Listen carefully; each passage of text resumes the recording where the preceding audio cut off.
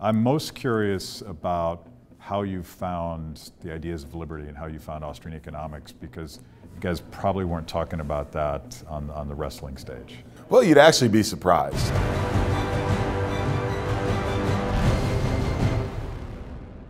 That's the, the first time that I really started hearing some of the terms was from one of the other guys. Told him that I felt like I was pigeonholed because I felt like I was a conservative on some issues. I never felt like I was a liberal, but I also believe that, you know, um, as far as some of the social issues, the government just shouldn't be involved in those things. And he said that I, you know, sounded like a libertarian. I'm like, you know, we're friends. Please don't call me names because I will fight you. And um, that's where I heard, first heard the term.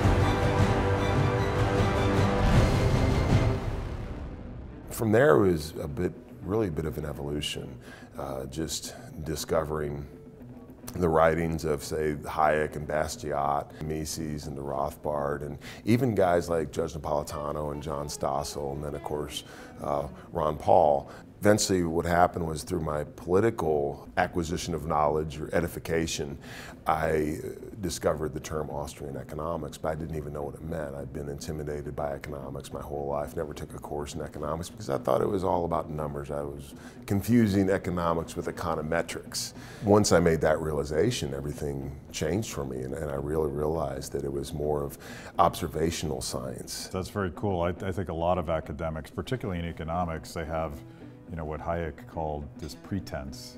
The fatal conceit. But also pretending to be hard science when in fact humans don't translate into a simple equation because we act. And that, that you know, if, if people find this out, the professional econom economics profession could be in deep trouble. And as Bastiat talked about, you know, the difference between the uh, a bad economist and a good economist is that a bad economist will look at the direct intended consequences of a policy, where a good economist will contemplate the unintended indirect consequences and destructive consequences of the policy. You've decided to run for public office. What are you thinking? um,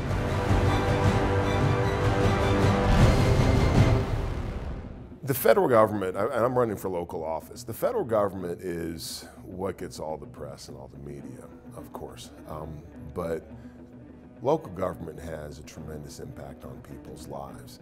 And I also believe that if we are going to have positive change in this country for the reasons that we've talked about, the federal government is not just one day going to say, ah, you know, we're wrong about all this stuff, you know. Um, the 10th Amendment really does matter. The states should be making many of this, these decisions. The Constitution doesn't empower us to do these things, so we're prohibited from them. You know, not the, not the thought of, well, the Constitution doesn't say we can't, so we can. They're not going to do that. What's going to have to happen, in my estimation, is that the localities and the states are going to have to force the federal government back into its constitutional box.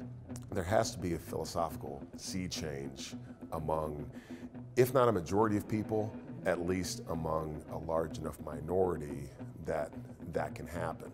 It seems like professional wrestling is precisely the right training for politics. you know, for years on TV, I played a, a, twisted, demented, deplorable, awful human being with absolutely no social redeeming values. I'll be a great politician.